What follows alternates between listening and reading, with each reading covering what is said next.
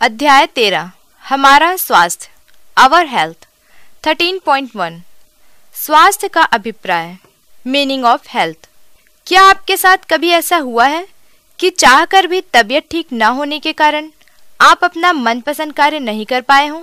जैसे मैच खेलने जाना फ़िल्म देखने जाना, मेला देखने जाना, या विद्यालय के किसी कार्यक्रम में भाग ले पाना। हम जाने अनजाने स्वास्थ्य शब्द का प्रयोग कई बार करते हैं। जैसे कि आज मेरा स्वास्थ्य ठीक नहीं है। मेरा मन किसी काम में नहीं लग रहा है। आइए, हम सब मिलकर स्वास्थ्य क्या है, इसे समझने का प्रयास करते हैं। आमतौर पर हम स्वस्थ रहने का अर्थ अच्छा महसूस करने से लगाते हैं। जब हम अपने रोज़मर्रा के काम को ठीक तरीके से कर पा रहे होते हैं तो कहते हैं कि हम स्वस्थ हैं। अर्थात स्वस्थ वह स्थिति है जिसमें शारीरिक, मानसिक तथा कौशल युक्त कार्य अपनी क्षमता एवं दक्षता के साथ पूरा किया जा सके।